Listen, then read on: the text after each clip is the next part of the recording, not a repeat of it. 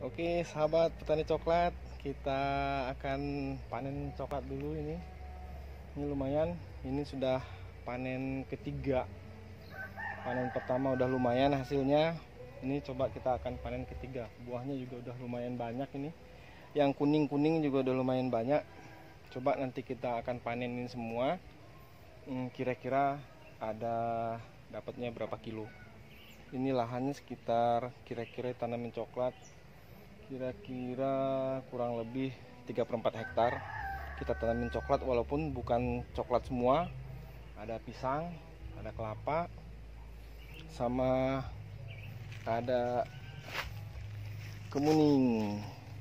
Ini untuk bahan bonsai nanti ini oke kita coba cek hasilnya seperti apa. Ya ini buahnya lumayan besar-besar. Banyak yang kuning banyak yang udah bisa disiap panen. Itu juga sebelah sana. Hmm.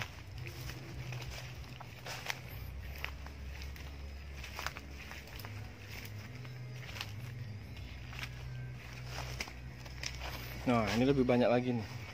Cuma agak tinggi-tinggi. Jadi kita metiknya pakai genter. Ini buahnya agak jarang karena sudah e, dua kali dipanen. Ini yang ketiga kali dipanen. Sebenarnya hasilnya juga lumayan coklat ini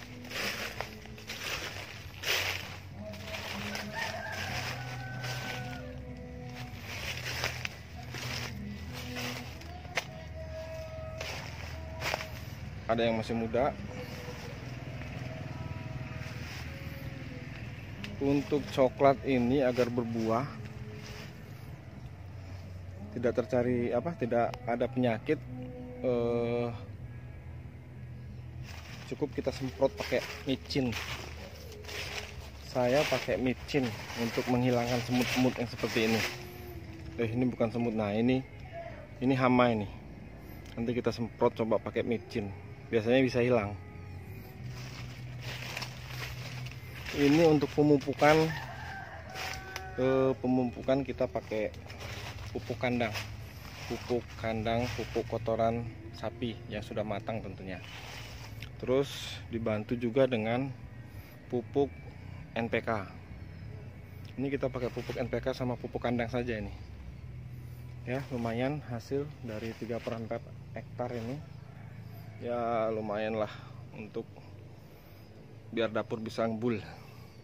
Oke kita akan coba panen ini. Kita lihat nanti hasilnya kira-kira berapa kilo.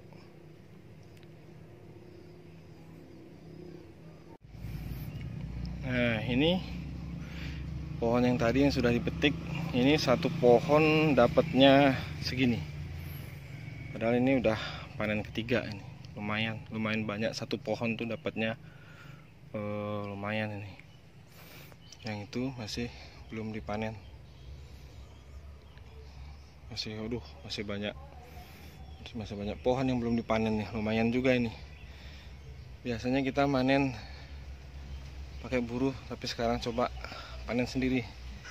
Gimana rasanya kalau panen sendiri? Oke ini nanti kita kupas. Ini biasanya saya uh, petik satu pohon kupas petik satu pohon kupas. Biar nanti nggak capek. Nanti kan kita waden ke ember ini. Dari waden ember ini kita bawa ke depan untuk dijemur. Coba kita kupas nanti. Kira-kira penuh nggak satu ember ini?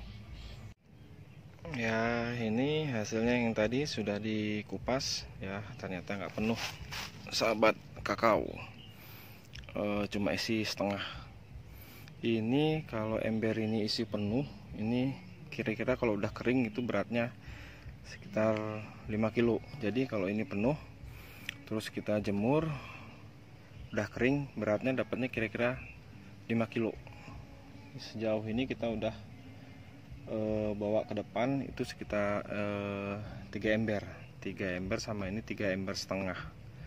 Berarti sekitar 17 setengah kilo kira-kira kalau dapatnya kering ya kalau sekilo kirasan kisaran harga 20 sampai 25 ribu ya lumayan duitnya sekitar 350 sejauh ini.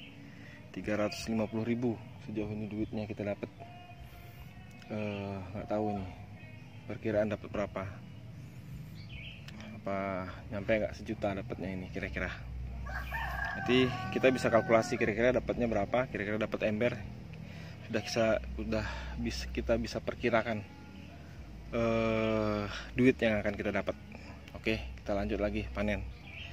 Kita panen sendiri karena nggak ngajak buruh. Ayo lanjut teman-teman kakao. Ya ini hasil panen yang tadi. Eh, kira-kira uh, ini dapatnya 40 sampai 50 kilo. 40 kalau kalau basah atau keringnya dapat berapa nanti? Eh kering ya kering kira-kira dapat 40 ini. Lumayan hasilnya. Ini kita biasanya coklat nih panennya setiap minggu sekali. Kadang seminggu dapat sejuta setengah dapat sejuta ya lumayan. Sebulan dapatlah 4 antara 4 sampai 5 juta. Untuk lahan yang nggak nyampe satu hektar. Walaupun sebenarnya perawatannya kita tidak terlalu intens cuma ditanam cuma dipupuk. Seperti itu aja. Ya lumayan lah untuk tambah-tambahan. Nanti ini kita jemur. Nanti tinggal nunggu sodagar yang datang. Biasanya ada yang pengepul datang sini hmm, beli ini nampung ini biasanya kalau belum kering juga biasanya datang dia langsung borong. Timbang langsung jual. Walaupun harganya akan lebih murah karena basah. Nanti kita lihatnya nanti apakah kita jemur sampai kering atau e, basah-basah ini kita jual. Oke sahabat uh, kakao. Mungkin itu dari saya. Uh, sebenarnya nggak rugi kalau misalnya kita nanam kakao lumayan hasilnya. Nggak kalah dengan komoditas-komoditas lain. Ya lumayan lah cukup untuk hidup sehari-hari. Oke? Itu mungkin informasi dari saya. Uh, untuk petani kakao yang lainnya tetap semangat